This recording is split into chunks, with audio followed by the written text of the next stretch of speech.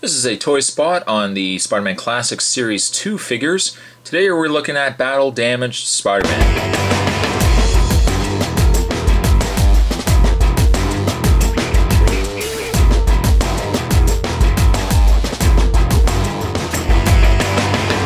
And let's have a look at the packaging before we get this figure opened up. As you can see, Spider-Man Spider-Man has seen better days. Also includes a very interesting, very cool lizard diorama stand. And it says 6 inch Spider Man with 30 points of articulation and collector wall mountable display stand.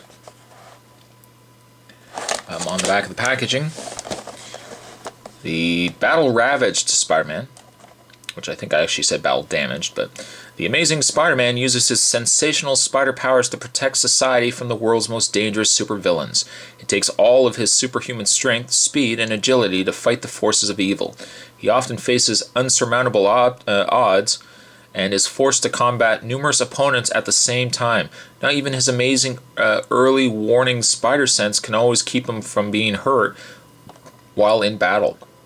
However, spiders uh, Spidey's incredible determination and will to win lets him triumph in battles against impossible odds. In the process, his world famous red and blue costume is often torn to shreds. It's a good thing that our hero created his own costume and knows how to sew up a replacement. Where else can a superhero bring their costume to be mended? Where else? You know, I almost think that that would be a lucrative business if you were to start that up. Sewing up superhero costumes. Uh, down below the other figures in this wave, aside from the battle ravaged Spider-Man, we've also got the Rhino, we've got a Daredevil, and then we've got the classic Spider-Man. And I believe I actually have reviewed this Spider-Man already. A nice little set. Uh, so there is packaging. There's packaging on the battle ravaged Spider-Man. What we'll do is we'll get this opened up, and we'll uh, we'll have a better look at the figure. Stay tuned, guys. So much more to come. Boy, I gotta say, that Spider-Man, boy, he is in some bad, bad shape. You gotta get some help, man. Look at you. Look at you. You're falling apart. You can't even keep your clothes. Look, your clothes, you're, you're messed up, man. Straighten out your life. Do something else. Anyways, Let's have a look at the figure now that he's out of his package. I can tell you one thing I really like about this figure, and that's the fact that his costume, uh, where his his skin is exposed, um, is actually not just paint. I really hate the fact that they take a figure, and when they add any changes uh, to the figure, whether it's damaged or what or whatnot, Justice League figures are really bad for this. They'll actually just take paint, and they'll just you know paint little areas where their costume is ripped. But there is no feeling that the costume is really ripped. This figure, however, even if you can see his legs, the pant leg is ripped open. You can actually see the fabric all separated. Both legs there. Um, in his hands. And uh, even in his fingers. Even if you see here, his fingers aren't just painted uh, flesh color, you can actually see where his finger on his glove has been ripped away because it's it's a raised surface. I think that's really neat. I think that is really neat. Uh, normally, I'm not really a fan of Spider-Man figures such as this. Uh, really, more so, I don't. I hate Spider Sense figures where there's usually like the Spider-Man figures in half. One side you see Peter Parker, one side you see Spider-Man. I hate those figures.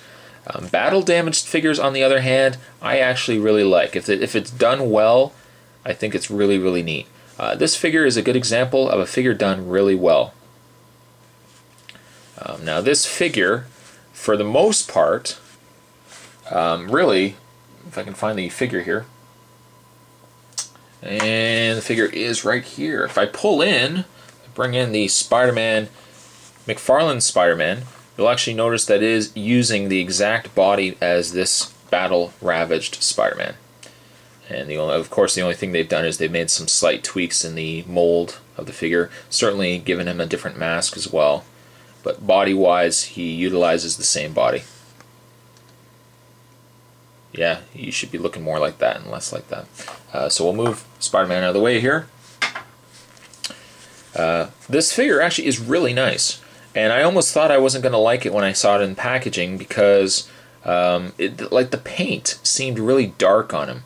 Like even in his flesh colored, it's really really dark. But I guess you can justify it that it's dirty because he's you know he's been bat- battling and and whatnot. Um, I don't know if it's deliberate, but can you see that?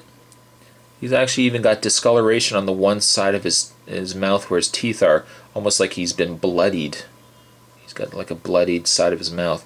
I think that's really neat. The fabric's been ripped off in some areas. Some areas it's kind of just hanging there on the back there. Even on the back you can actually see. Can you see that? He's actually got hair sticking out of his mask. Um, I mean, they really, for a 2000 figure, this is a really neat figure. Really, really cool. Um, now, in the way of his articulation, his articulation is the same as the other figures. Uh, there is no articulation in the bicep. He has a, a pin and socket joint in the shoulders. He can bend the elbows in two points. You can ro rotate the forearm, although this forearm's a little stiff. You rotate the forearm. You can bend the hand. And oh, look at that too. You can even see that his web shooter looks like it's been ripped from his glove, like it's it's more exposed in his glove than it should be. Um, but you can bend the fingers, of course, bend the hand. Uh, you can rotate the mid torso. You rotate the waist. You can bend the legs back and forth. Rotate the thigh. Bend at the knees in two points. You can rotate the the calf, bend at the foot, and bend at the toe. So same articulation as all the other Spider-Man figures. And uh, I hate to sound like a uh, a paid advertisement, but wait, there's so much more.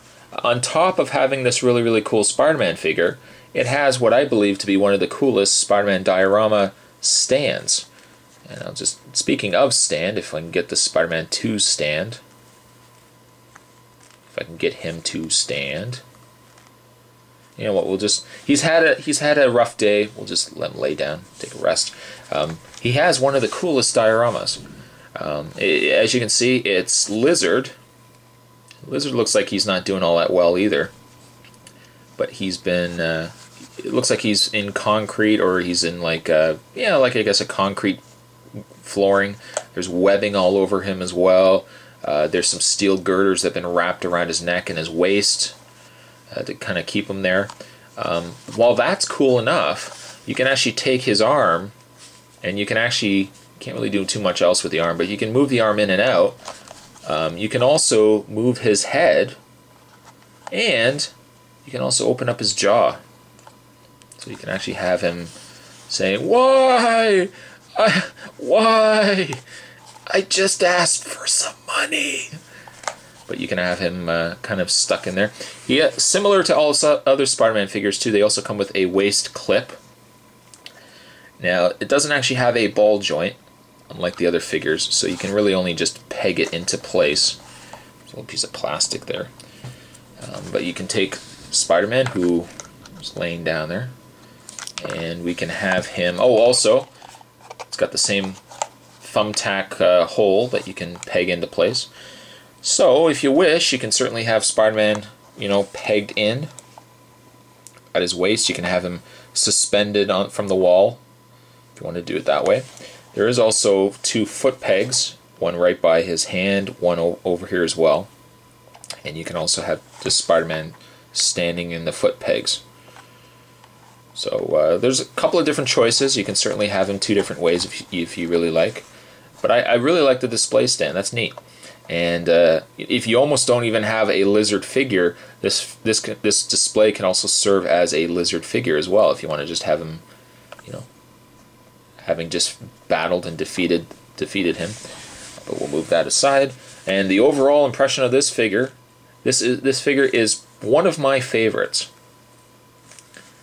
And it, it seemed the more I look at the figure, and now that he's out of the package, the more I actually really, really like the look of him.